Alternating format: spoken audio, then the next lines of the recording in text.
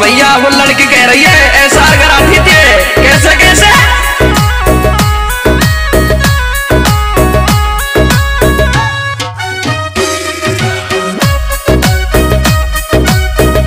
छोरा तो मेरा याद होता आवे जो कैसे कैसे, कहा कहा करे वो छोरी जो। हेरे तो पुकार कर छोरा, याद या